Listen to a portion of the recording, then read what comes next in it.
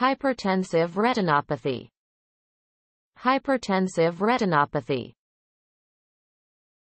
Damage to the retina and retinal circulation due to high blood pressure.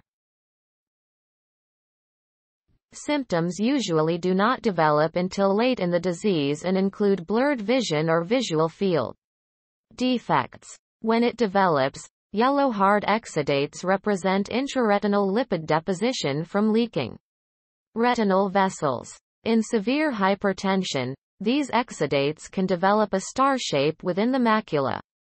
Macular star, and the optic disc becomes congested and edematous, hypertensive crisis.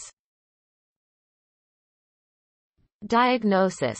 History, duration and severity of hypertension, funduscopy, ophthalmoscopy, and examination to see inside the fundus of the eye and other structures with a funduscope, ophthalmoscope, or through slit lamp biomicroscopy.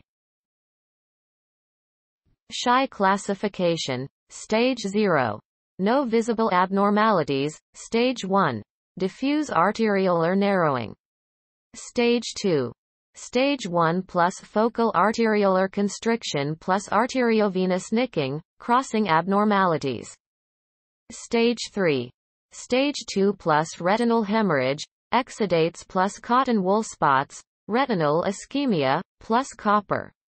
Wiring, appears orange or yellow because of atherosclerotic vessel wall thickening, stage 4, stage 3 plus hard exudates plus macular star plus retinal edema plus papilledema, optic disc swelling, swelling of the optic nerve, plus silver wiring, appears white because of occlusion.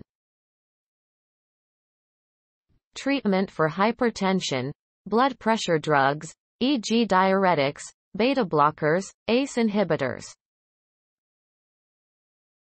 Treatment for retinal edema in case of vision loss, intravitreal injection of corticosteroids or antivascular endothelial growth factor drugs, e.g. ranibizumab, pegaptanib, bevacizumab, laser.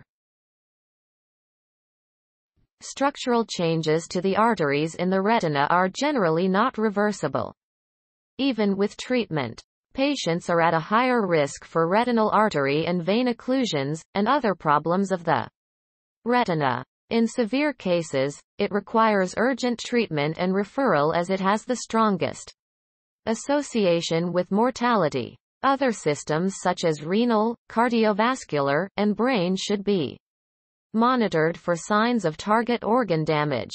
It is associated with an increased risk of stroke even after controlling blood pressure and other vascular risk factors. CF. Hypertensive choroidopathy